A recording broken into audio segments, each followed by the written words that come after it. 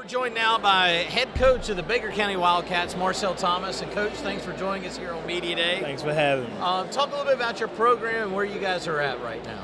Uh, right now, I'm in my, sexy, um, my second year here at Baker. Um, I feel like we're in a pretty good position this year. We're putting in a lot of work. Uh, I'm senior heavy. We have eight seniors this year. So, um, but we've we've had a really good summer. We've been playing a whole lot. Uh, been in the weight room a whole lot. So I'm pretty confident we'll come in and, and change from last year. We, we weren't really that great last year. So I think that we come in this year and compete for a district, possibly make it to the playoffs. With a senior laden group like you've got, um, who are some of the guys that we need to look out for uh, this season? Um, three I have with me: uh, Caleb Hayden. Uh, he's going to be one of my top scorers. Can shoot the ball well. Actually, put it on the ground. Uh, Miles McLean. He's actually a transfer. Uh, came in from Fort White, where he averaged about 18 points a game last year. So uh, we look. He's going to be the point guard. He distribute, get everybody involved. He does that really well.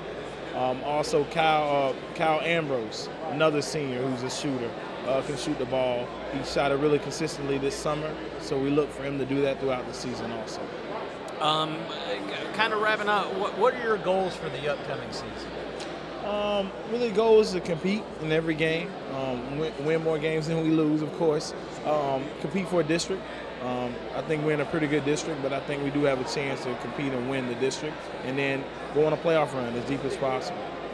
Well, Coach, we appreciate. Thanks for taking the time to join us for the High School 912 Media Day presented by the CSI companies and uh, here at the YMCA. Thank you for joining us. Thank you for having me. I All appreciate right, it.